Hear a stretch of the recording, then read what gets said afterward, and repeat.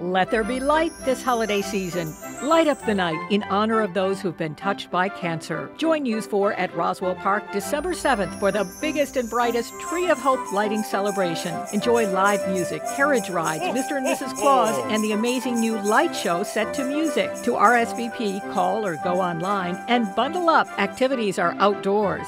The annual Tree of Hope lighting celebration because a cancer free tomorrow begins with hope today.